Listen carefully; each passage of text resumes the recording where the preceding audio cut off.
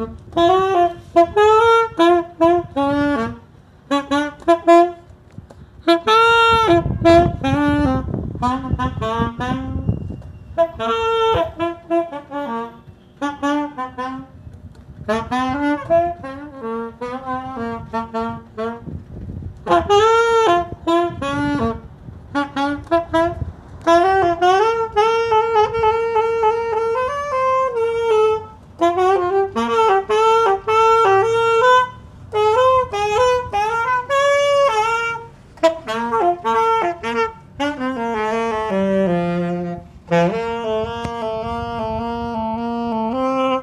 I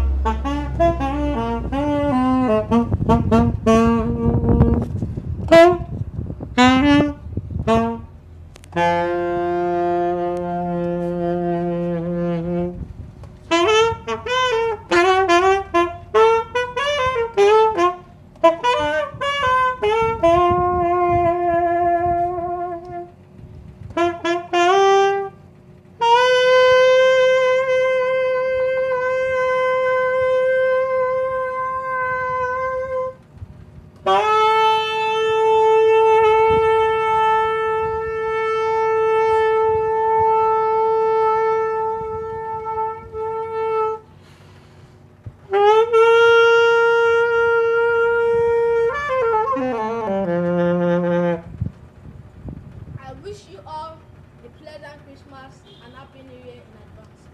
Songs of.